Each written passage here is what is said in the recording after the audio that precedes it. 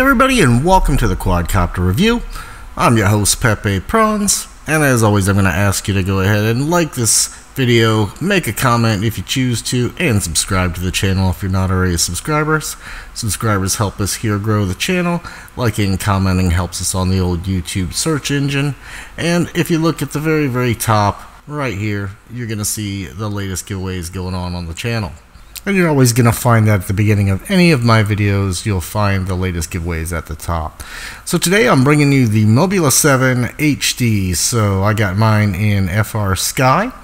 I haven't opened this box even yet, as you can see. So let's go ahead and cut it open and see what we get in the box. For some reason the Mobula 7 boxes are always a bit soft and semi-crushed when I get them.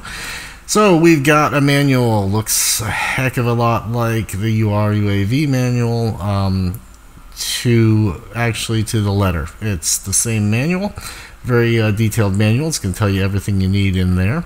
The reason why it looks so similar to the URUAV manual is because this little guy has about all the same parts. So we have our 3S uh, Happymodel branded um, 300 mAh here and it is an HV battery. So 4.35 we've got the little kit here which also looks exactly the same. Contains a screwdriver set of props prop puller and a XT32 JST2 so you can use two 1S's if you like converter. And we have our camera settings board same as the other. We'll put that up at the top because I got about 20 of them now and we've got the Mobula 7 HD itself. Now, this little guy here is using the V3 frame, which is much sturdier, at least to me. And uh, I'll show you in the flight footage that. We're using the same 1102 9000 kV motors, and that is a change from the first round of these. The first round had 10,000 kV motors, and this is using the 1102 9000 kV motors. We have the Crazybee F4 Pro version 2, same as that URUAV did. We have a adjustable camera, and they use the Turtles V2 in there. We've got that 4-in-1 uh, ESC that is 5 amps per on that one. And we've got, um, again, mine's FrSky. You can get it in PNP if you want to and put your own receiver in there. That FrSky is D6 and D16 and D8, whichever one you want to use. Got the little um, straw style antenna going on this guy. And we've got our Turtles um, settings wire hanging out the side, just like the other. This one has a little bit different of a mount. It's uh, more sideways than vertical than the URUAV was. Now, if you saw my URUAV UR85 HD video, I talked about this wire right here and how concerned I was with how easy these are to be flopping around inside these whoops because they're so small. So this is what will happen, as I warned. Couldn't even listen to my own warnings. I'd, I'd really like to see them think about this when they're doing something on their frames somewhere to, to better put this guy. But it did pop out. I had it tucked under and it popped out and it got hit by the props and knocked the JST2 off, which is not any fun to put back on. I don't even think it's a JST2. It might just be a JST, but like I've done here, I've crammed this one inside on that UR85 to try to prevent that. So that was post flight, but let's get back to pre flight here. And like I said, we've got the pretty much the same parts on both of these guys. Uh, one's 85 millimeter, and this guy is 75 millimeter. Same, you know, setup, same frame, like I said, as the original Mob 7. And a lot of flight performance is the same too. Um, they, with the weight, they managed to keep almost the flight performance the same by adding the motors uh, that we were used to in just the regular Mobula 7. So I know I can't figure out which way to say it. Mobula, Mobula, Mobula, I, I don't know. So we'll just say whatever I say when I say it. So another good job by by Happymodel. Um, really like it. Uh, we'll go into the flight footage. First, I'll show you how I set up the Turtles V2 on this one. Now, you're going to go in and you can set your video here. You can see the resolution is 1080, but you can also do 720 if you wanted to at 120 if you want to slow-mo it up or something. But we want that. And I turned auto recording on so that way when you turn the plug the battery in, it starts recording great feature to me. Then we're going to go in the camera settings here. I set my EVO to, uh, well, my EV to negative, um, 0.3 and then we will go into the camera settings themselves and set up our settings for contrast and all that good stuff.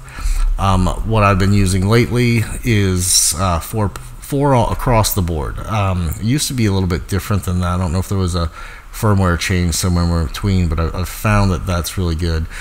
So now we just save and exit and we're out. So let's now do what everybody wants to know. How much does it weigh? So we weigh 47.9 without the battery, and we're coming in at about 73.2 with the battery. So let's get flying. Nice performance out of it. Speedy, just like the original was. I wasn't sure how it was going to be, knowing that we were going to get more weight with the V2 turtle on there and uh, I think the motor combination they selected uh, has worked out to get us in the performance range that we were expecting from the original non HD version. And I, I found it to be nice. I, I'm pleasantly surprised. Like I said, I was very worried. You know, this model was such a great model and with the frame issues the original one had, it kind of I think left a pretty sour taste in a lot of people's mouths. I mean, uh, again, something must have happened after production. I have one of the first ones that came off the line, and I still haven't broken my original frame with some serious hits. And this one I put the test to too. We're gonna zip down the driveway here, and right here I'm stopping it because you see those posts down there at the end on the porch gap. I hit that post dead on, full speed, um, going through that, you know, going to, to hit that gap and, and hit the inner post there and hit it so hard I ejected the battery. I hit it so hard that I reset the Turtle V2 settings. So you're seeing crisp, nice quality here, and you'll see all I did was pick it up, plug the battery back in, and start flying again. And when we come back from this freeze frame, you're going to see right here how it reset. Now you can see how much thicker the footage is and stuff. This is how a Caddx v Turtles V2 looks when you don't make any settings off of the original how it comes. So that's what I did. I hit it so hard and the frame made it without any problems at all. The other good news is the original ones they had sent out to uh, probably about I guess 100 or so. Um, they were running 10,000 kV motors and ESCs were burning up. We don't have this problem at all with the 9,000 kV motors. Uh, I had no issues, many packs into it, no ESC issues, and I'm not by any means going slowly. Hit a tree, again, no damage. So pretty happy with this one. There'll be more footage in other videos to come. So don't forget to look below for the links to this one, and happy flying. Hey guys, thanks for stopping by and checking out the quadcopter review. If you want to see more interesting reviews on FPV related stuff, take a look up here in the old right corner right there. You'll find links to all the rest of my reviews. If you want to get in on some of the best giveaways on YouTube, look over here. Don't forget to subscribe right here on my chin. And if you want to check out my flying only videos separated from the review channel, check that out right here. Thanks for coming. Don't forget to subscribe and happy flying.